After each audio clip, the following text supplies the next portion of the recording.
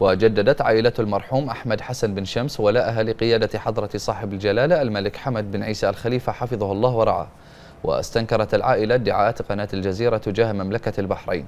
وقالت إن هذه الافتراءات والأكاذيب أريد بها إيقاع البلاد في مستنقع الفتنة وشق الصف الوطني.